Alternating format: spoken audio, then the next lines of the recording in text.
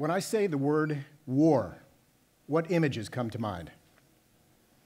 If you're like most people, it's ships, planes, troops, and uniforms. When I say the word warfare, same thing, right? I'm going to describe a war that's underway right now. It's a very different war. It's a serious war. It's a secret war, and it's happening every day to every man, woman, and child, and future generations in the United States and also our Western allies. It's a war that's happening every day underneath our noses, and we're not really aware of really how it's happening and why it's happening.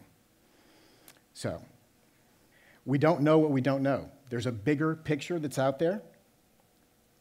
Uh, people are wondering with all the news and the breaches and so on, they're saying, hey, there's got to be a bigger picture. What's going on here? Can somebody connect the dots for me? That's what I'm going to do today for you. I'm going to open a window into the intelligence world, the cyber world, and we're going to flip the telescope around and bring everything into vision for you. The modern battlefield is everywhere. Nearly everything we do today is connected to the internet. So when we buy cars, certain cars, when we drive cars, when we use technology, anything that's connected to the internet, and even those things that are in our homes and our offices are not totally protected, even if they're not connected to the internet. So the modern battlefield is everywhere because technology has brought us to that level. This war is defined by no rules, zero rules. The biggest mistake that we make as Americans is we believe that our adversaries have the same rules, the same values, and the same goals as we do. And they could not be more diametrically opposed. Those values and those rules are, are used against us all day, every day, even while we sleep, because our adversaries are on different time zones. These are headlines over the past two, two weeks recently, over a two week period. It's not Cambridge Analytica, it's Facebook. That signifies just one of hundreds and hundreds of different examples of our exposures and our, our vulnerabilities. if you weren't worried about Russia, you should be. The US indicts, charges nine Iranians in massive theft of intellectual property investors put cybersecurity at the top of the list. Xi Jinping said that we will fight the bloody battle to gain our rightful place back in the world. And the last one, cyberspace is the new battle space. It's also called the forever war because of technology. Another headline in the two week period, and this is just recent. Now, these are, this is to show you the severity and the ferocity of really what's going on in the cyber world and the intelligence world, which affects all of us our families, our companies, our universities, our military, and our government agencies. Everything. This article, why uh, Trump's tariffs are a big deal to China. The bigger story there is it's not the tariffs. He didn't want to start a tariff war or a trade war. The bigger issue there is he's firing a shot across the bow saying, hey, look, enough is enough on this intellectual property theft.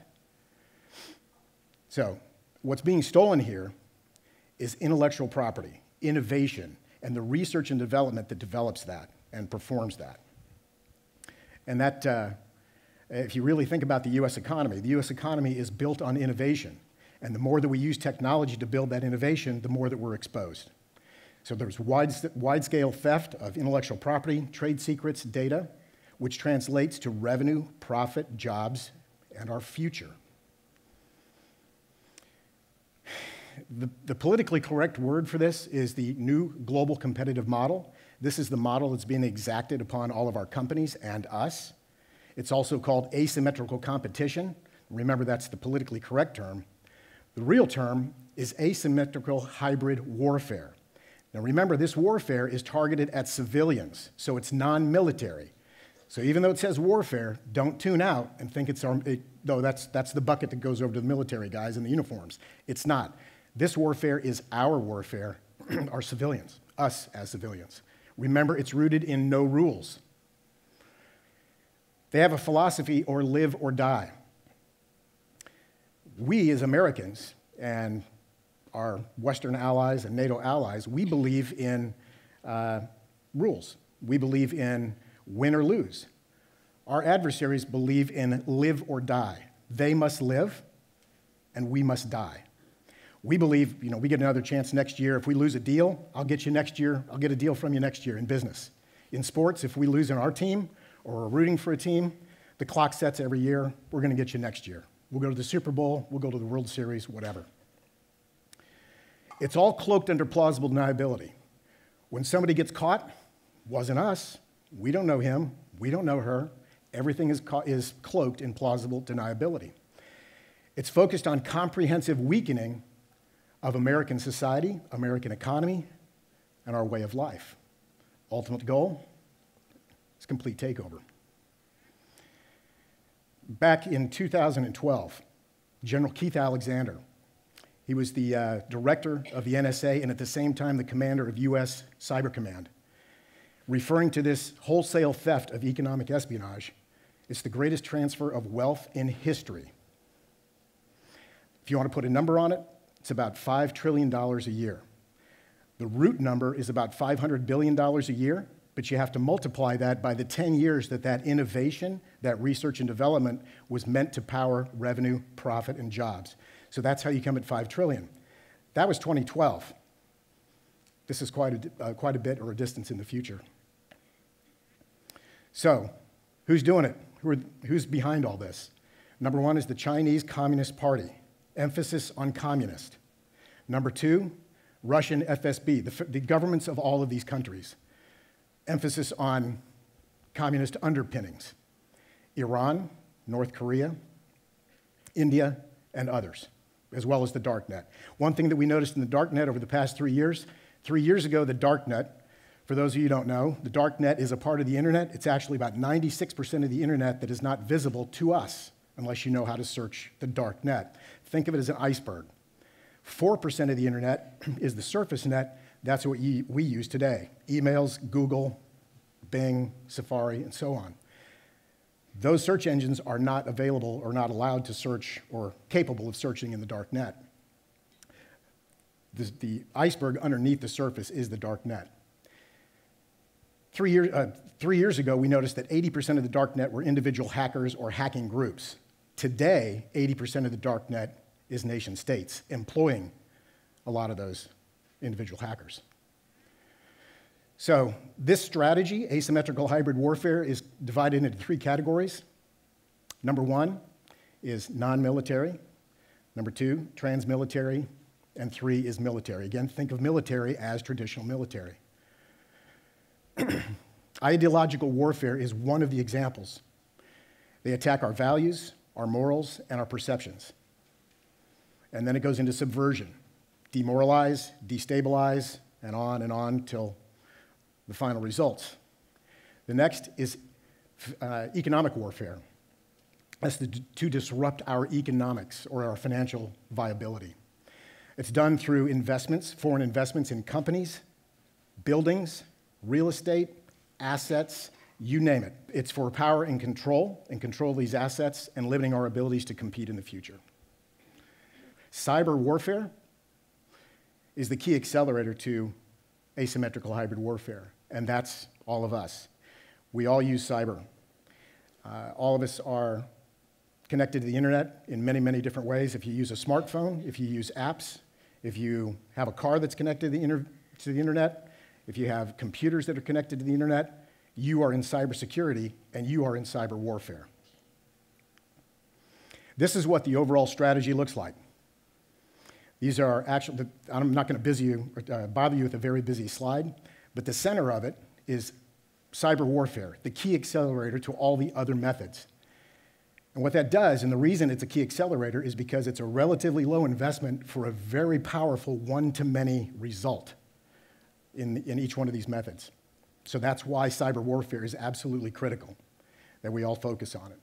The second thing is about this slide is that uh, its key underpinnings is all in espionage.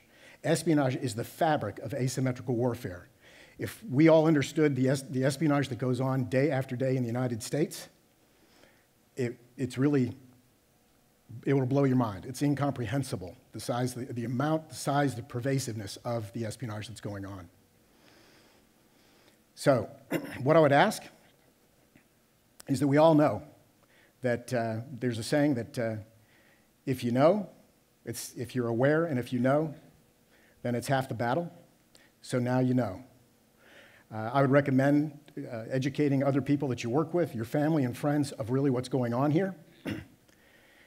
Protect your values. Your values are under attack. The one thing that the Russians understand, the Russian FSB is very, very good at, they understand that the most exploitable device on the planet is the human mind. And that's why you see the, the, election hacking and so on and so forth. You see these things going on. That's really what's behind it. And that feeds into the asymmetrical warfare issue. So guard your values. Understand that they're on, under attack on a daily basis.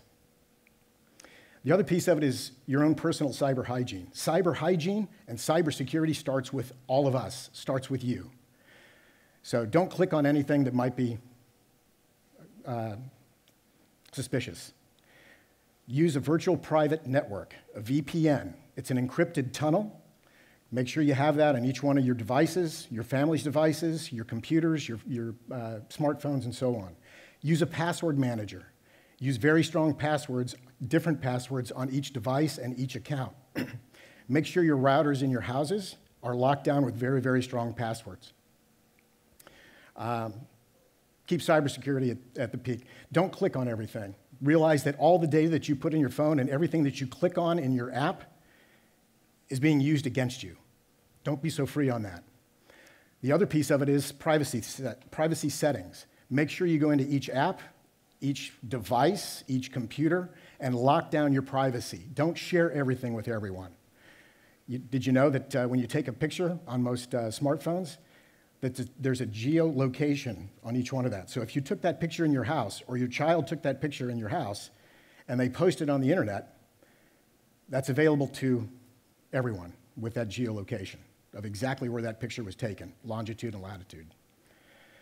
So, one thing that I would ask, if you want to take this to the next level, and I suggest you do, if there's a letter that you ever write in your, in your lifetime, write a letter to your congressman, your senators, and to your president and say enough is enough.